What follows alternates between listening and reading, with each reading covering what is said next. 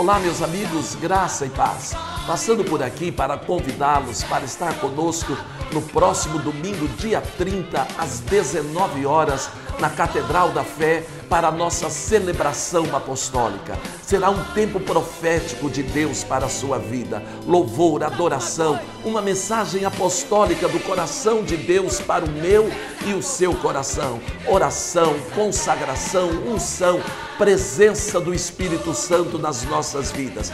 Não perca, domingo às 19 horas, celebração apostólica aqui na Catedral da Fé. Deus tem algo especial para a minha vida e para a sua vida. 2022, ano do avivamento, vivendo o sobrenatural.